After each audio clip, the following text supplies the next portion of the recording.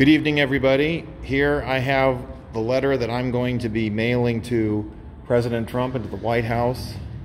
I'm urging the president to demand an audit of all voter procedures and voter programs in all 50 states, especially here in the state of California.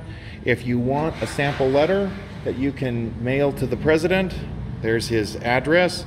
Uh, you can email me at arthur at massresistance.org or you can call me at 781 474 3005. 781 474 3005.